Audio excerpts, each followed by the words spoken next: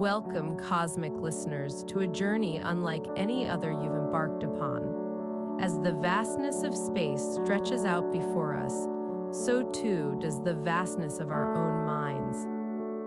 This is where the ethereal meets the extraterrestrial, where inner space meets outer space. I'm your guide, alongside my hosts, Doro and Matt, and you're tuning into the intersection of meditation and mysteries beyond our stars.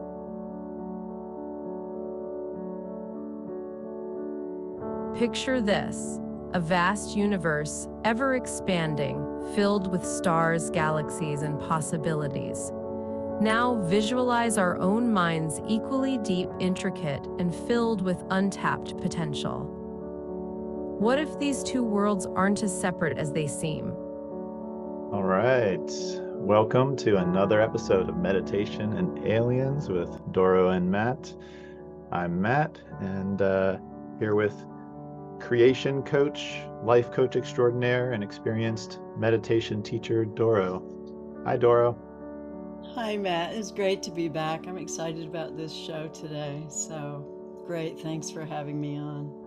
Oh, uh, thanks for doing this. Um, as you know, I'm a I consider myself an amateur ufologist and a amateur lifelong explorer explorer of meditation.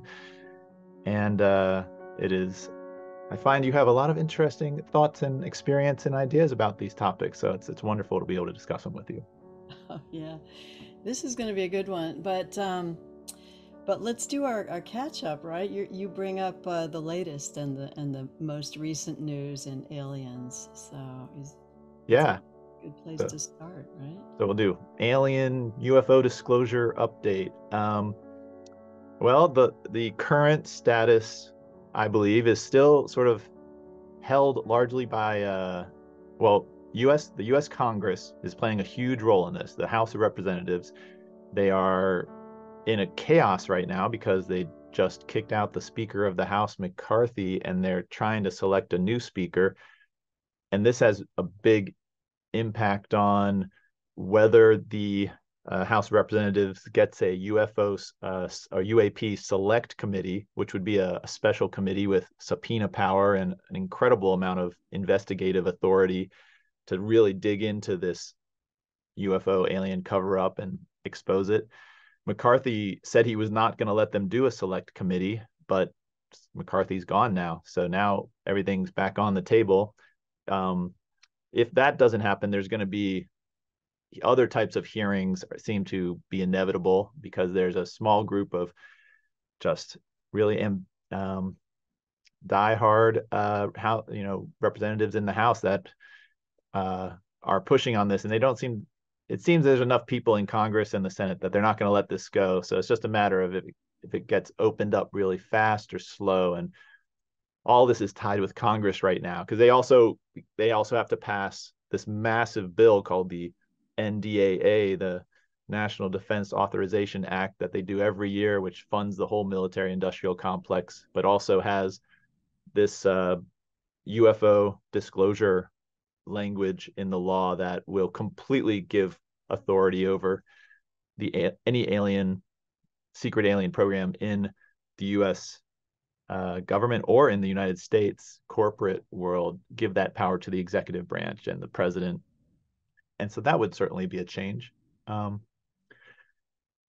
so that's that's kind of the the U.S. perspective on this. There's also those Mexican aliens that are not going, those Mexican mummies, those yeah. that some people say are nothing. It, it, seems they might be something, and so that's still a controversy hanging out there. Um, and then it's interesting. Yeah, they they did just look like you know made out of clay or something. So that's interesting that they're actually doing testing on them, I guess, right? Yeah, yeah. There's been X-rays. I've seen uh, supposed, you know, radi- radiologists look at the X-rays and clearly describe that these do look like complete living skeletons of some sort of animal or being. That's amazing. And then other people say they're lying that they're dolls created. So pretty so interesting. Yeah. Um, I think a lot of this is that we just have to cultivate this sense of discretion that, you know, how to discern truth from not truth. It's almost like we're being forced to develop our psychic abilities. Yeah. Um, but that's interesting. That's fascinating. Oh yeah, it's So it, it makes me, uh, you know, I just watched uh, Steven Greer's um, documentary CE5, um, Close Encounters of the Fifth Kind. Mhm. And uh, you know, he, he was he was basically saying that there's uh, there's something good happening in Congress. I mean, he didn't. He said, "We're well, we're wait and see," but I- he had a good feeling about something. So, uh, but that was at the time of that filming. So I guess that could have included the whole congressional disclosure process. And um, but but I wonder what else he was referring to.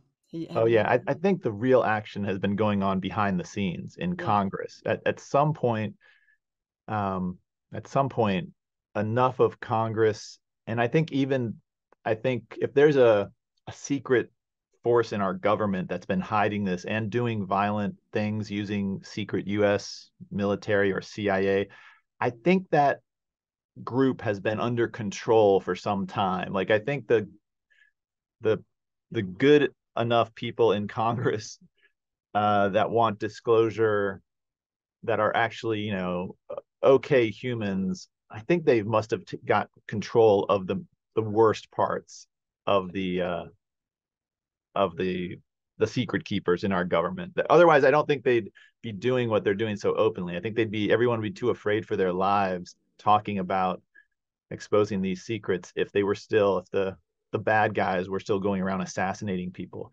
Um, I mean, Steven Greer said no one has been killed since 1993 to by the secret keepers, and that is the year I believe Bill Clinton won the White House. So it might be that was a tr- changing point where they got full control of the CIA and maybe were able to at least box in the ones that seem to have uh, done some assassinating over the years. And and Steven Greer's even talked about uh, some of that.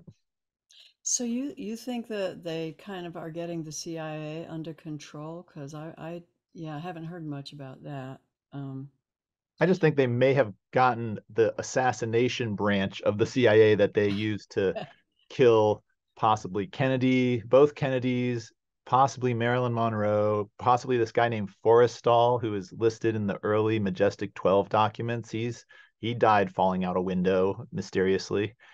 Um, it's that, and Bill Cooper, you know, killed by IRS agents who also did a lot of talking about M Majestic 12. These are all deaths that seem to me to be highly, highly likely to be connected to the secret keepers. And it, you know, if you're the if if say Bill Clinton got elected in 93 with the intent of figuring out just those five murders, I think he could have identified who in the CIA was doing it and maybe stop them, at least from doing that assassination type violence with US assets. uh, well, that's fascinating. So going back to to McCarthy, do you think he was against disclosure? Is that part of the I, picture? I just think he wasn't a hero of it. You know, it, to be in Congress and be in favor of disclosure, you have to have an incredible amount of courage because they they have to see that any, you know, that in the past presidents have been possibly murdered to keep this secret and, and I think they've been just, you know, they're, they're bribed. You know, the the secret keepers have access to probably BlackRock and trillions of dollars so they would they would just bribe congressmen. So why would McCarthy McCarthy didn't get to be speaker because he was a good guy trying to save humanity. Right. Oh, where'd you go, Matt? I think you got cut off.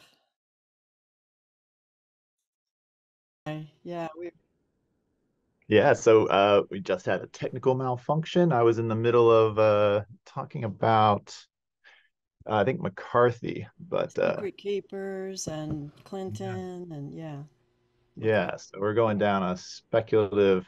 I mean, it's one of my favorite things to try to map out who in Congress and who in leadership is seems to be clearly on the side of disclosure and who seems to be suspiciously on the side of not disclosure. Um, so that's a fun fun topic. But I think in the end, everyone has is going to have to jump on side humanity. I mean, who's going to stay on the side of the aliens once this really comes out? You know. Well, that that's big. Talk more about that. What do you mean, uh, who's going to be on the side of the aliens? I mean, once it becomes exposed at a minimum that Lockheed Martin and Raytheon have somehow been, you know, in cahoots, hiding alien secrets, possibly working with evil aliens. I mean, once that is exposed, what humans are going to stand up and say, you know, actually, I'm going to stick on the side of the bad guys in this story. I'm going to. I mean, no elected person in Congress is going to. They they're all going to have to say, "Oh, this is horrible. Humans have rights." I mean, I mean, but that's why I think it's like it's it's kind of obvious when a congressman now is like uh, like Mike Turner from Ohio. He's the congressman who is in charge of the area that has Wright Patterson Air Force Base, where Lockheed Martin Skunk Works is located in the Air Force Base, and has everyone seems to know that they have alien craft and they've been in on this. But and Congressman Mike Turner is one of the only congressmen standing up and trying to fight disclosure and trying to keep them uh, keep this quiet and it's it's just so obvious and transparent that he is in the pockets. Maybe he might not be like morally bad they might just be blackmailing him or with money and other threats. I mean i think a lot of congressional people are just obeying the masters who have gotten them to where they are and who control them. So when when you're uh, talking about the aliens in terms of the military, um, are you talking about like the the evil aliens working in cahoots, like the reptilians and all that, or um, yeah, I, I just feel like we we uh, it'd be good for the listeners so that we're all on the same page about good aliens and bad aliens and um, so what yeah. you feel like the bad aliens might be part of what the Majestic 12 and uh, the military com uh, you know secret keepers and all that. What well i i agree. I don't know that bad aliens are is the right word. I don't you know and i don't really know where what these groups are. It seems there are definitely um, it seems there's definitely some group with super high advanced technology, so advanced that they would seem like an alien civilization to us. I mean, there's a chance it's nothing but humans all the way down, and all of these, you know, supposed different alien species are just a something they're just fooling us. They're deceiving people. To, I mean, who knows? It just seems there's definitely Majestic 12 seems to be the name of the human council that Eisenhower formed. That's probably the closest thing we have to the name of the secret government that's been uh, maybe largely in control of Earth. And I guess this this actually gets to the question that I, I mentioned in the pre-show to you that I really wanted to talk about. Who who represents humanity to alien civilizations? Like who legitimately on Earth, I mean, should the aliens, if there's aliens, you know, from other planets of any sort, if they arrive today or they arrived 100 years ago, who should they be recognizing as our leaders? And I think, you know, there's a, whatever the a best answer to that is, the I think the current answer is they've been recognizing this Majestic 12 group as somehow an authority. And this majestic 12 group is corrupt like any group of superpower humans would be. And does that make the aliens complicit in responsible for any of the evil? All these are they somehow i mean so there's that whole question and then there's a question of if there are other uh, non-human species sharing earth with us living inside the earth that might be a separate uh who knows what they're like who knows what yeah. that's the theory of the reptilians and it seems Mhm. a lot of evidence at least some a lot of reptilians seem to be kind of selfish Mhm. Mhm. It it just seems to me that, you know, the the, the dark force c- can goes all the way down and and um yeah, I I don't know if that's extraterrestrial or actually from this planet. Um but uh it, it's concerning. And have you heard and this is this is also something I want to talk about, the CE5 uh documentary with Steven Greer, the um Close Encounters of the Fifth Kind. But uh, have you heard any more about this project um, Bluebeam? Because I'm almost thinking maybe that's just going to get scrapped because now this is all coming out. I don't know that they could actually pull it off. Um, you familiar with that, the Bluebeam Yeah, the theory of the fake alien Yeah, invasion or fake crisis. I mean, I yeah. think I think the core the core principle of that theory is that there could be a giant coordinated deception to try to pr pressure humanity into agreeing to something like a, a one world government or or some other like things like that. Yeah. And I think that basic idea is still on the table. I think we we should be have our eyes open for a big deception by people and yeah, and it it actually it uh we didn't mention in the pre in the update, but I think we have to mention the Israel uh, invasion that just happened, which has shifted the entire uh, the attack on Israel by Hamas, supposedly uh, an incredibly brutal, violent event, and it's now drawing the entire attention of the world away from Ukraine, and it's a uh, it's a it's a weird it's a weird moment in history um, and it's you know for for one i think there seems to be uh, in part of the military industrial complex that wants to fuel a continuous war machine and wants to funnel us money into uh, they always have to have one major conflict to to both funnel money and to funnel fear and attention into and this seems to have happened at the perfect time when the Ukrainian in, uh, war enthusiasm in the U.S. is clearly uh, about you know to end. So I don't know. It's like I I look at everything with suspicion. You know, what Project Bluebeam or global wars or weird terrorist attacks like this that seem excessively brutal and designed to trigger every emotional like response from every corner of Earth mm-hmm. and to divide humanity into good and evil based on this single attack. Yeah, yeah. There's a, just such a um, a movement towards this divisiveness, this contrast. I'm I'm just seeing more and more contrast, um, and so you have to wonder where is this going to end. But uh, yeah, I, I, would advise everybody to watch this CE5 Contact. Um, uh, what's it called? The um, Close Encounters of the Fifth Kind with Steven Greer. That documentary is so amazing because what it's pointing out is that there are uh, higher consciousnesses. Okay, th- this is like these kind of elevated, universal, wise consciousnesses, which he's determining to be extraterrestrials, which are um, communicating with us psychically uh, uh, you know, and, and, their attempts to come, and they're not just non-physical beings; these are physical beings, but um, they're wanting to help us because here's the story: back in World War II, when they were setting off the um, the atomic bomb, apparently it sent out some kind of a ripple in the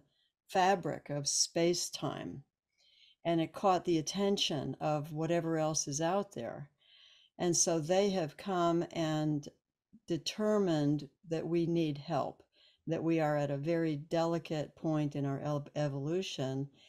And uh, and so that they are on one side trying to help influence us. It's almost like a birthing process. Now we've got these these doulas around helping to to uh, birth our consciousness, and yet um, we have this this secret government military complex which has claimed total uh, sovereignty for themselves over the earth and they have they don't want any interference from outside our own um, our own planet. And so every time there's any attempt for physical contact we you know we seem to have the military right there shooting at them and that's why they've been bringing down these crafts and back engineering them to, to get more and more technology, but also, you know, they believe they're protecting the planet. And yet there's, there is this opportunity for growth and, uh, higher higher consciousness. So we're we're kind of at a dilemma because they see us as a planet that's going to kill ourselves Mhm. unless there's some kind of a, a help coming and or just you know like a the baby is breech you know what are we going to do? We've got to we got to interfere a little bit and help. Uh, but this could end up being staged in advance to look like a hostile alien invasion which is what the blue beam project is in order to scare everybody into one world government Yeah. so, so the aliens, uh, these extraterrestrials, as Steven Greer says, they're actually wanting to communicate to anybody who has uh, their heart in the right place. They're they're very they're standing back because they, they're not wanting to to trigger anything. Um, Yeah. It it uh it makes a lot of sense to me. I mean, if you just if we just imagine that the uh, our solar system has many outposts on it with intelligent life. I mean, say this our solar system actually has beings in it and we have ships flying all around it that are um I mean, let's just say there even Steven Greer, I believe, says that the Earth that the US government has like spaceships that can fly like other star systems. I mean, he claims we have a secret space force. So if let's just suppose that, that is true, then if you're an alien species that comes to our solar system, then wouldn't you anyone flying the Space Force ship that says halt, you're in the Earth solar system. We are the representatives of Earth. We are the the military in space. I mean, what right do the aliens have to say you're not even the leader? What right do they have to say we can just go to your planet and talk to your people? I mean, if they're out there, if if we have gatekeepers, then it puts any aliens that are coming from far away, from outside, at a position they have to kind of respect who is wielding authority here. And so they might be incredibly good and want to offer to help things. They can't control whether our gatekeepers deceive us and are hiding information and well and then the other dimension is are there also aliens on earth like living with us? I, that's sort of like a whole nother part of it. And have you ever heard steven greer mention whether he thinks there are aliens living in earth reptilians or anything like that that are not as good and nice as he is saying the more powerful aliens are? I definitely have not heard him um, talk much about reptilians, uh, but I don't hear him denying it. I, you know, I, I feel like he's uh, um, not focusing on that, even though he might know something. But uh, no, I don't. From what I've listened to and watched, I haven't heard much about that. I don't think he denies it, but I, I haven't heard really much coming out of him about yeah that. every a lot of uh, people in this uh, are skillfully avoid that topic and it's, Yes. it's kind of interesting now, do you had mentioned to me before you have a, a possible uh, slideshow that you that illustrates some stuff you wanted to talk about. Do you want to? No, um, but th this is much more on the spiritual end of things. Like, what is this for our own spiritual development? What are what are we um, growing or evolving into? And so, yes, I have a little. Um, it's not a slideshow, but let's see if I can. Um, pull something up here. I hope I didn't get rid of it. Oh, here it is. Okay. Now, can you see it at all? Yep. Oh, it's down here. Okay. So, um, yeah, it's going to take a, a, a little bit to get this straight. So, we're going to just say that here at the top, can you see that? The top here? Yeah. Uh, okay, so let's just say this is the higher consciousness. We're going to just use our imagination. So, this is the higher consciousness. So, and down here, we're going to put in another level. This here is like an ocean, the water, a big pond, right? So, or a lake. Now, if you've ever been a scuba diver, you know that um, there's different temperatures depending on the depth. As you go down, it gets colder, darker, uh, more pressure. And so, and then the, now think in terms of consciousness. The highest consciousness is very spacious, it's elated, it's um, it, it's aware, it knows everything. Okay, so it's it's it's everything. And as you go down, the pressure becomes increasing, the the uh, disorientation gets increasingly uh, severe until you get all the way to the bottom, where there's you know death and suffering and and uh, all the muck. So then we'll we'll uh, look how this could also relate to vibration, and for this sake of this thing, we'll put it in terms of musical notes.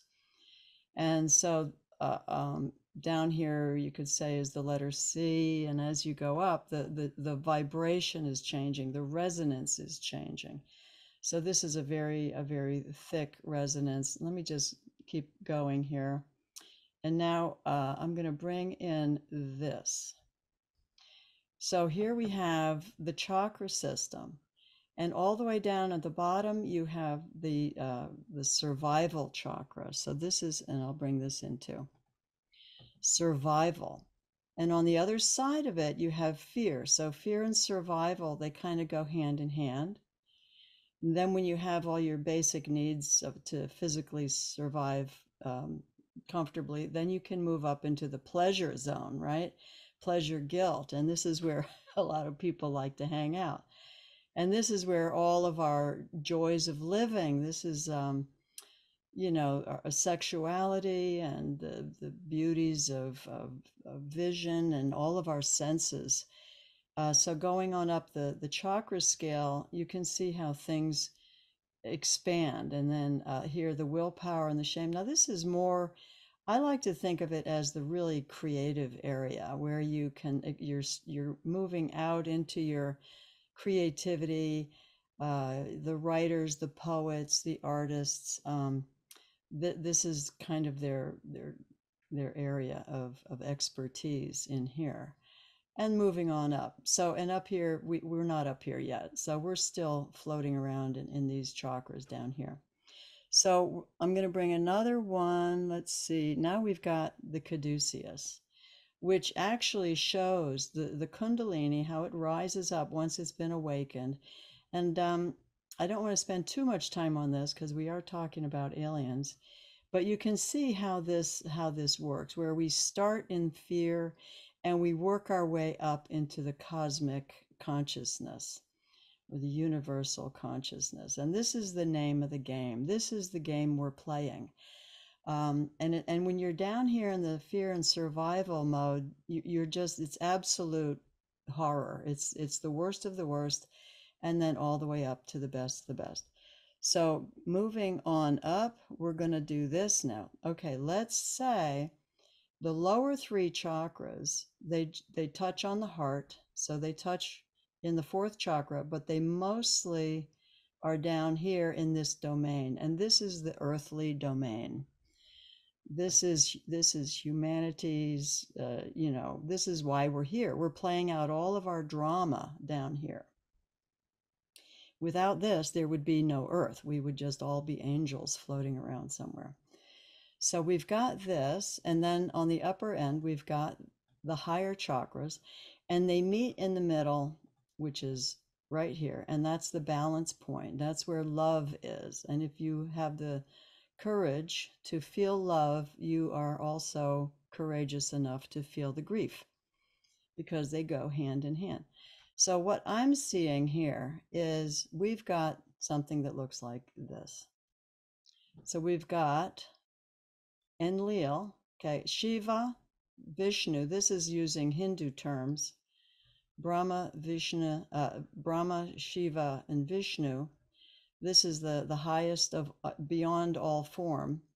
And then you have coming into the higher consciousness and then coming into the earth. So down here, believe it or not, this is the realm of Vishnu's um, avatars like Krishna, Ram, uh, and all these these gods down here, which are actually incarnations of the uh, the god, uh, or not the god, but the extraterrestrial Enki. Enlil and Enki and Anu are the same as Brahma, Shiva, Vishnu. and um, and so and so what we're dealing with now is an extreme um, contrast. See, a lot of times these are much softer, not not so intense uh, expressions of of of um, of life, I guess you could say. But right now we're coming into something very very um, sharp, very contrasting. And it could be that the only, a lot of people are shooting for like, oh, we got to hurry up and get to heaven or got to make things perfect uh, before everything goes to hell, literally. But really, what we want to do is we want to aim for the heart. We want to aim for the balance uh, between heaven and earth. In other words, what we are on, uh, on a mission to do is to bring heaven to earth in this portal. The, this heart chakra is, is, a portal. And this is where the higher um, consciousness extraterrestrials are trying to speak to us from. So what we have here is this this deep, deep, dark uh, force that's pulling, you know, this Earth. You know, I want to call it the the covert um, military, and uh, pulling on the, our conscious. Now, this is this is representative of the energies in our body that are being influenced right now. So so these this area down here is is you can see it. I mean the all over the world, the wars, the the terror, the fear, the the human trafficking. I mean this is all just kind of a big nightmare more and more and more down here. And yet, you know, we've also got incredible um, you know creative things being developed uh, so so it's it's all down here but it's getting more intense and if you really want to pay attention and get quiet and meditate you can also feel that there's the same thing going on up here. It's getting more and more uh, intense more and more obvious more and more accessible if if we want to work with that. And my what i do is i'm i'm aiming for the heart. I'm gonna i would like to point everybody right here because if we just go on up into shiva and brahma uh, that's fine. I mean we could just merge into the higher consciousness and be be done with the whole thing but if we want to continue to play the game on earth we want to aim right here in the middle balance total absolute balance bringing heaven to earth um, and that involves both of these forces. And I think extraterrestrial, excuse me, extraterrestrials are very much uh, influencing um, our health and well-being in the direction of moving upward. Um, and I have another little layer here that I can put. So here, here's the path. This is what everybody can call the path. Jesus called it, what did he call it? The as sharp as a razor's edge, right? Goes straight up the middle. And that's um, that's the, also the, the Kundalini, where the energy of the Kundalini is. This is where all of the avatars are of Vishnu and Shiva. These this is where the avatars abide. That and they help to bring the more dramatic, say you're down here in severe survival all the way out on the edge well, these avatars help to bring those extreme energies to the center uh, through love, and it's actually these these teachings, and that that's what helps raise it up, like a like in the water. We can go back down if we're sitting in the middle of a lake. Let's do this. So we're sitting in the middle of a lake. Depending on where we are, is the vibration that we uh, that we are emitting. Am I am I making any sense? So let me just touch base with, with you. Yeah, Can this you... is amazing. Oh, this is okay. Fascinating. Yeah. Great. Um, so yeah, when when we are having a big drama in our life, we're like off balance. We're we're sort of going somewhere on the outskirts around these areas. So these uh, Hindu uh, avatars, you know, in India who are very well explained, and I'm and they represent other. I mean, you can see these these uh, iconic energies, not just Brahma, Shiva, Vishnu, or Anu, Enlil, Enki. It, it these things these uh, also show up in uh, Egypt and South American um, descriptions of, of how things work. So everybody can do, there's a lot of information out there. Anyway, these, these uh, higher beings, I see them as these higher consciousness they understand all of this and they they come into the lower realms which is the earth realm let's go find the earth realm so they come into the earth realm to help to raise the energy or, or at least ameliorate or soften the transition because we're going to go through a transition and they're helping many of us to raise our consciousness so that it's it's more in the heart area we don't have to go all the way into super enlightened you know sort of dissolving the ego into nothing. But if we can stay in the heart, we can soften this transition.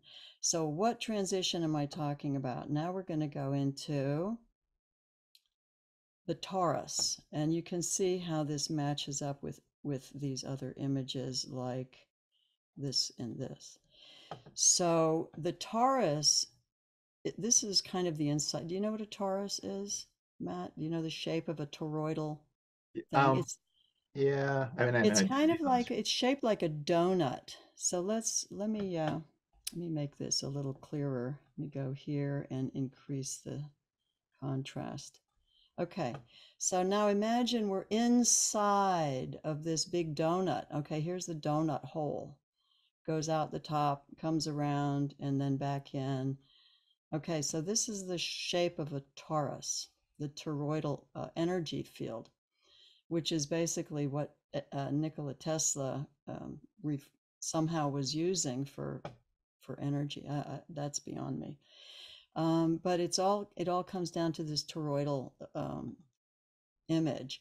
So the energy comes up through the center of this toroidal thing, and we, you know, this is the middle. This is that center point where it all comes together, top and bottom and we can continue out and we eventually will continue out we're going to evolve whether we like it or not and and so then we kind of go out into the ocean of infinite possibilities and eventually make our way around to do it again and that's called reincarnation uh, so the higher extraterrestrial consciousnesses are are offering us this understanding of the process of evolution conscious evolution that we're in, undergoing uh, and and they're trying to help pull as many as they can out of this nightmare that's going on down here. Um, so let me pause and let everybody take a breath. Um, so let's let's just see if any if you have a question about that. oh, that is just uh, such a fascinating model. Um, I mean, one of my big questions are about Enki, Enlil, Enlil, Enlil, and uh, Anu. Are are you conceiving of those as three living entities of some sort, or are they more abstract concepts? I'm gonna say, and and this I, I want to get more clarity on it, but I'm gonna say the Anu is not physical at all. In fact, it's it's uh, it's it's everywhere. It's like the the chi, the prana, the energy everywhere. Um, Enlil, I'm going to say, is is uh, is you could call it extraterrestrial higher consciousness that takes on form. Uh, but you know, it, it if you have you have to think of it as a gradient. Um, you know, the ones that are farther down are more and more solid and then and then as you move up they become more ethereal um, so shiva enlil would be more ethereal and as you come down you're coming more down into the more solid 3d forms and that would be enki uh, the the god of of this earth but not of um, you know he, he's a god of the earth a lot would call him like the the the Greek uh, character Pan, or you know, there's just so many so many images you could use for Enki. Uh, but he was the higher consciousness that taught. Um, well, he taught us everything, math and you know, um, math and language and reading and uh, So he eh, farming, agriculture. He brought all of these skills to humanity, uh, and he feels it's it's his duty to help this all work in harmony and and uh, balance. But it's a challenge because the farther down you go, the more chaos ensues. So he always comes back as an incarnate form, as as they say in uh, Hinduism, as one of the uh, um, avatars, and they're saying that that he may he may be here now uh, helping. I don't know. I don't know that much detail about all this, but this is what I'm picking up from from the story of of of aliens and how they're relating and helping with the this effort to expand our consciousness into a greater state of wisdom. Is Enki um are there uh certain uh, who have been avatars of Enki on Yeah, I don't. Well, I know. Uh, let's see. I think it's Quetzalcoatl of the South America. I don't have them all memorized, but there's there's one or two in China, and um, of course, India, you have Ram and Krishna, um, probably others. They usually present with a little bit of a blue skin, which I found interesting. Um, you know, Krishna and, and, and hin, in Hinduism is always de- depicted as having blue skin, as well as Ram. And uh, it, it, just, for me, is an indication that, that they're uh, of a different planetary race. And it could be that they're Pleiadians or Arcturians, I don't know, but it's coming from somewhere. Interesting. And um are there uh are there avatars that represent Enlil over history? Throughout history? That I, I'm not real familiar with that. That that would be more Hinduism than I'm familiar with. You know, I'm I'm not a scholar in any of this. I'm uh, sort of like, would you say you are just kind of a learning as we go? uh, Amateur. I'm an amateur. amateur. So uh, I do think Shiva has had a number of avatars, but I don't. I, don't, I haven't studied up on that. Well, what about the major religious figures in like Christianity? or any of those avatars?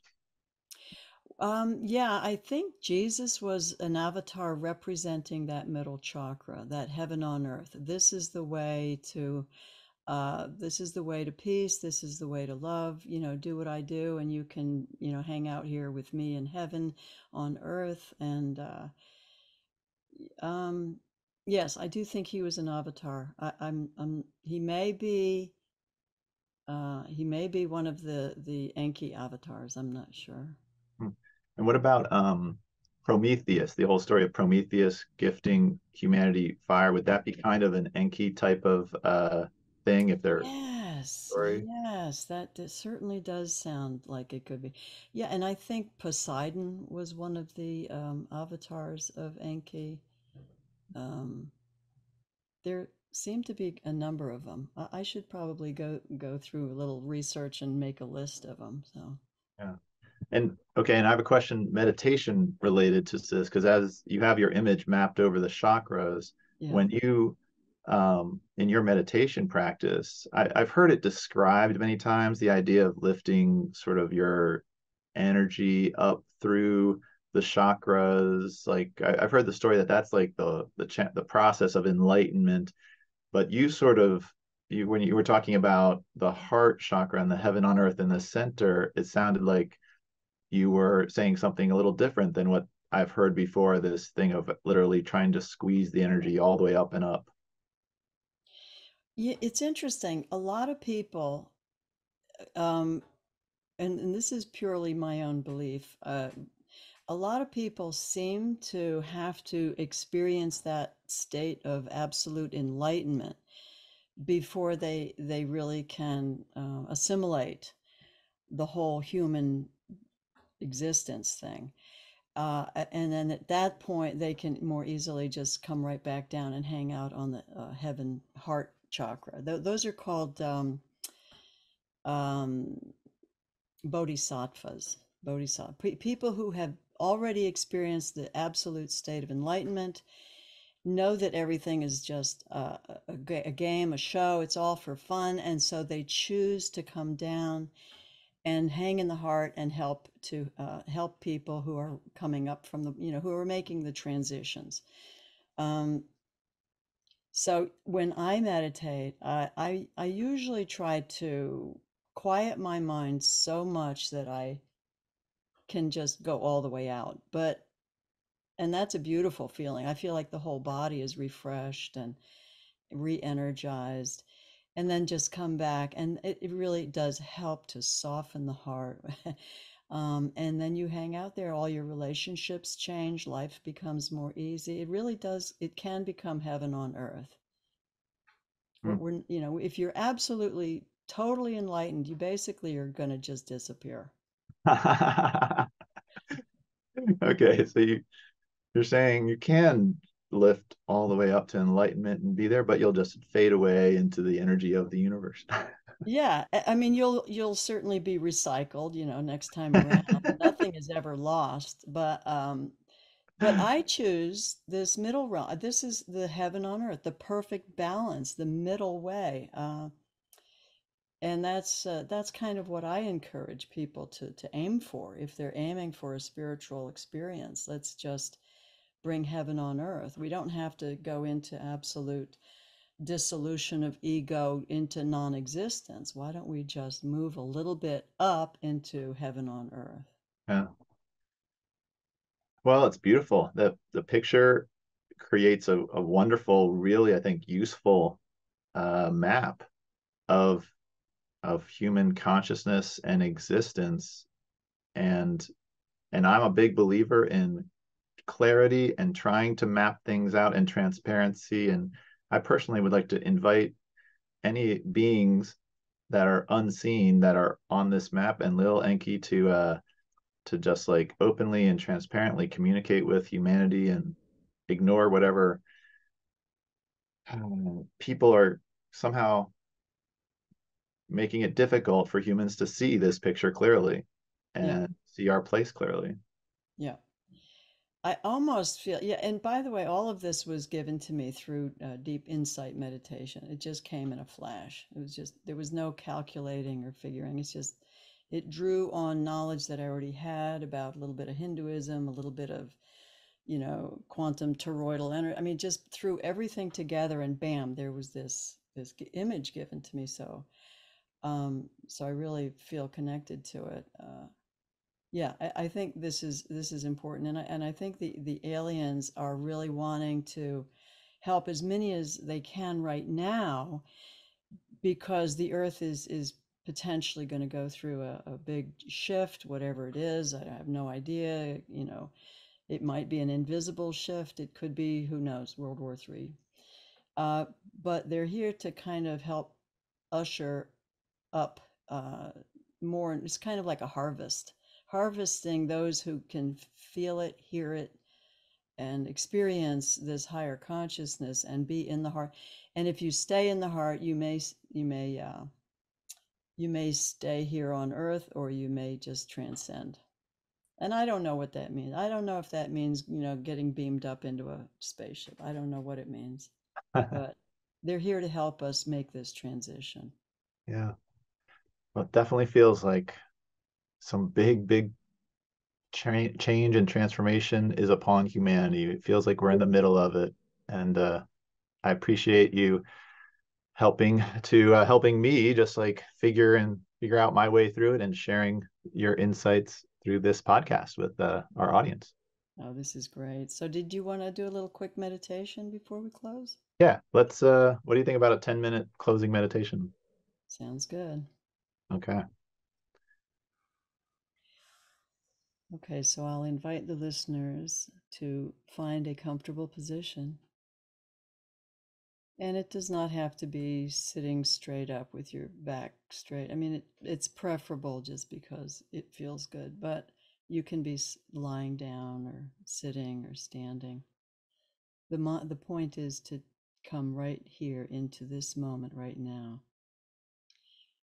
without, uh, without a lot of discursive thinking in your mind. So let's listen to this bell just for a minute and follow it, help it to bring our mind into a focused state.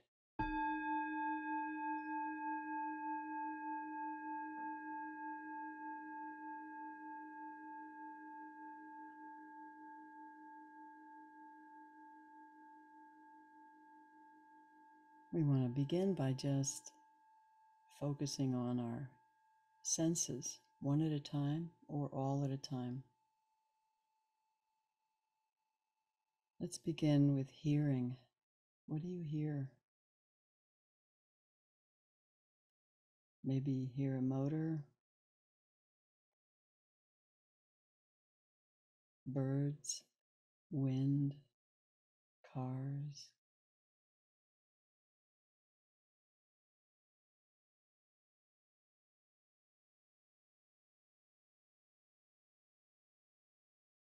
Take a couple of nice deep breaths and feel that breath go all the way in. You can feel how the temperature at the tip of the nose is a little cooler.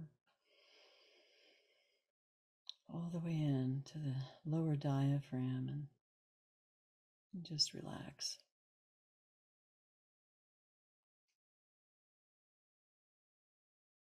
So, the sense of touch Feel your feet on the floor.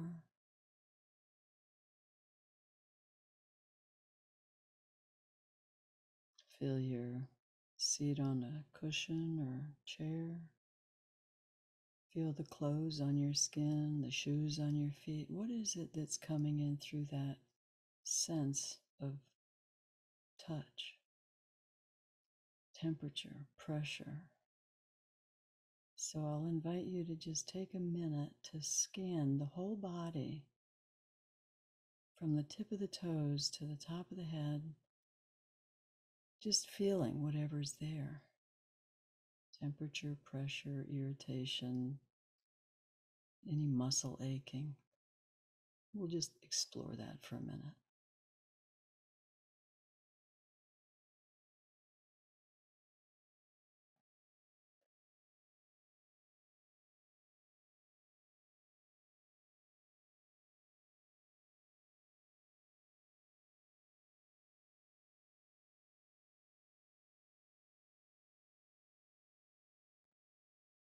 If you notice any muscle groups that feel tight,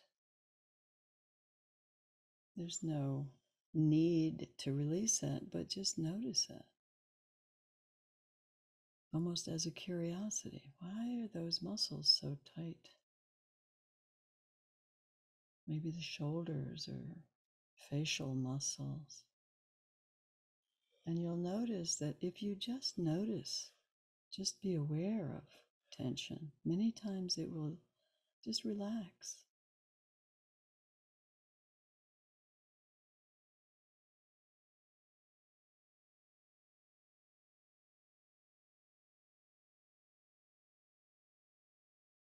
Following the breath is a wonderful exercise to help keep us present in the moment.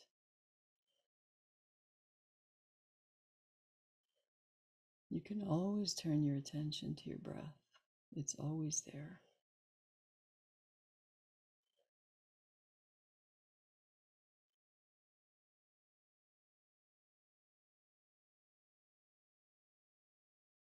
This scanning meditation is a real gift to the body because the body loves to be paid attention to. Even just feel the energy in your hands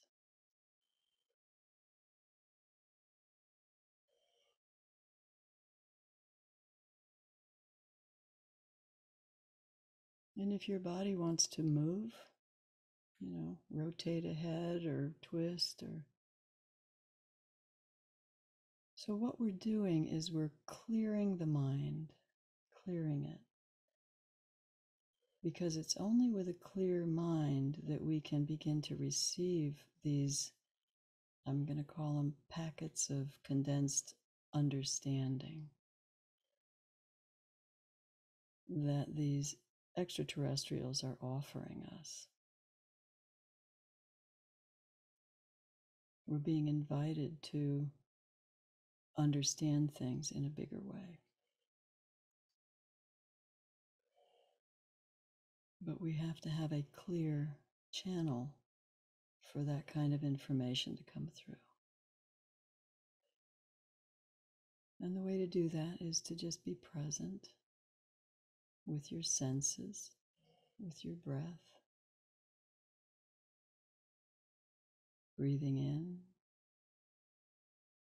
breathing out. No agenda. If something comes, it comes. If it doesn't, it doesn't.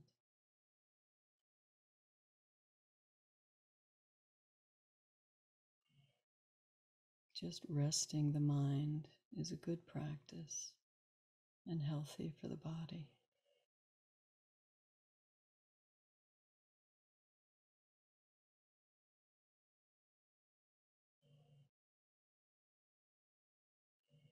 And in the beginning, of course, thoughts are bombarding us in every direction. And so the first step is to notice it. Just notice it. That's big. That's the biggest first step to notice that your mind has dragged you off somewhere. And then just very gently thank it, release it, and come back to the moment. There's nothing bad about thinking. It's just for this practice, this is a mental exercise of clearing the mind.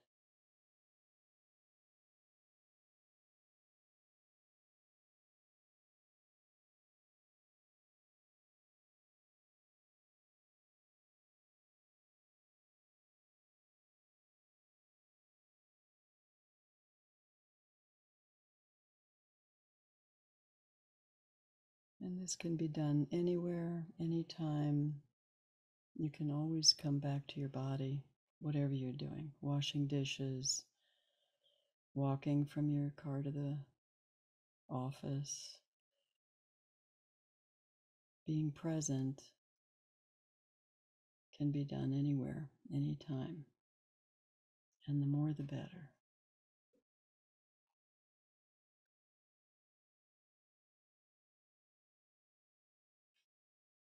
So, with that,